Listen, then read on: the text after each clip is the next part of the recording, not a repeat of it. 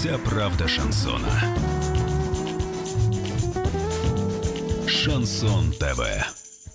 Здравствуйте, с вами Катя Катушкина и вся правда шансона.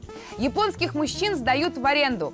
Позвонив в определенное агентство, заскучавшая женщина за 10 долларов в час может заполучить любого мужчину из представленных кандидатов. В основном мужчин арендуют для совместных прогулок и для того, чтобы рассказать им о своих проблемах, выговориться.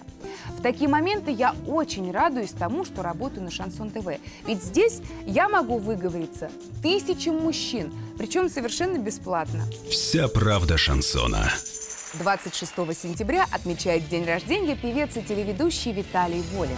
И не знаю сам, почему Только сердце стучит сильней Когда-то Виталий работал на Шансон ТВ, а сейчас занимается сольной карьерой. Он пел свои песни на дне города, на фестивале «Круга» в Твери, на Славянском базаре в Витебске. Желаем артисту Виталию Волину творческого роста и поздравляем с днем рождения.